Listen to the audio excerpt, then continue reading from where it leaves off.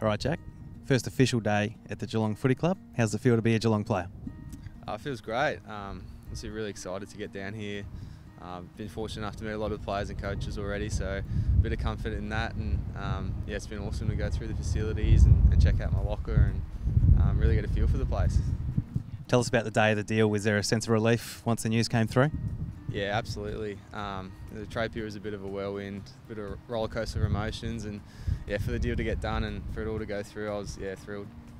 And tell us about the time in between. I think you've been doing a bit of training up on the Gold Coast yourself.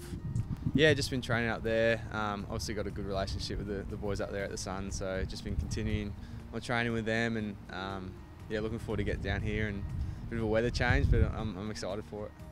And why the Cats? What was the lure? It obviously wasn't the weather. No, no, no. Obviously a bit different to Queensland, but um, you know, like pretty successful footy club, such a good culture, and you know, I had a really good feeling about um, the Cats when I met them, and I've been speaking with my management throughout the year, and um, yeah, I knew they had a, a, role here for me to, to come in and hopefully help the group out in, in, in any way possible. Now, as you said, you've got some good relationships already within these walls. Tell us about your relationship with Pat Dangerfield. Yeah, I just met Pat through my management. Um, I met him back on draft day actually, so um, he was there, and um, ever since then, sort of checked in with him here and there, and it's been great to keep in contact with him and, and see his career unfold. And yeah, I was really happy he got the obviously the premiership medal he's been, been looking for for a while now. On the field, where do you see yourself fitting in? Have you set yourself some goals? How do you see 2023 playing out in a perfect world?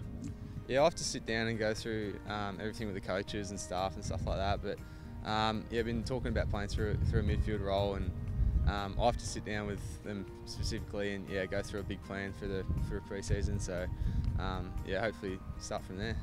And finally, first day at the club. What does it look like?